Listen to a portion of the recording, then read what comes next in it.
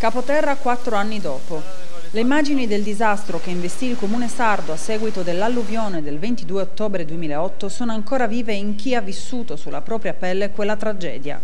Il bilancio fu di quattro morti e undici indagati, morti che forse si sarebbero potuti evitare con i dovuti accorgimenti e le attenzioni richieste dal caso, data l'allerta meteo che arrivò da Roma. Oggi abbiamo voluto fare il punto della situazione con l'attuale sindaco Francesco De Sì per capire cosa è cambiato dal 2008. Da quell'esperienza si è cercato di migliorare, almeno nel nostro piccolo, ma anche con la regione, a chiedere interventi per la messa in sicurezza del territorio perché la prima cosa è quella della messa in sicurezza del territorio per mettere in sicurezza i cittadini. Mentre per quanto riguarda invece i danni eh, avuti, subiti dalla precedente alluvione eh, è stato risanato e arginato tutto da quel 2008? Da quel, dal 2000, 99 parliamo del, del, del alluvione, 99 Capoterra colpì il capoterra centro storico ed è stato arginato tutto, quasi tutto. Eh, difatti nel 2008 nel centro storico è successo poco, qualche allagamento di, cantina, eh, di cantine,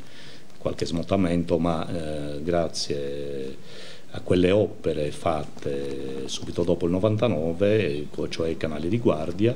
attorno al centro storico, diciamo che eh, i cittadini non hanno corso pericolo, mentre adesso per il 2008 la Regione ha stanziato 11 milioni di euro per l'allargamento de, del tratto che va dalla statale 195 alla foce del Rio San Gerolamo e quindi sarà allargato,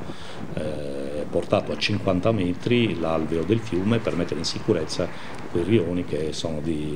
sono a Rio San Gerolamo e a Frutti d'Oro secondo. Noi come comune abbiamo subito mh, tirato su, fatto questo piano di emergenza che comunque indica tutto quello che i cittadini ma anche i nostri operatori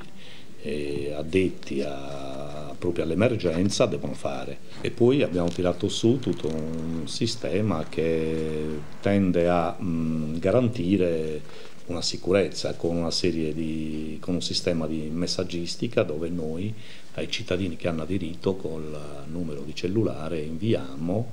eh, le allerta meteo moderate o alte o elevate